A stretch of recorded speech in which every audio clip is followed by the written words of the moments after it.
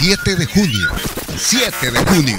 La Municipalidad de Usulután, gracias a la buena voluntad del doctor Luis Ernesto Ayala Benítez y el Consejo Municipal Plural, solidarizándose en la economía de los usulutecos, anuncia a sus contribuyentes que a partir del 7 de junio del presente año pone a disposición la exoneración de multas e intereses al poner al día su cuenta o hacer un plan de pago de su cuenta en mora. Acércate a la oficina de cuentas corrientes y aprovecha esta gran oportunidad, ya que es por un corto periodo de tiempo. 7 de junio, Alcaldía Municipal. Juntos por un nuevo Usulután.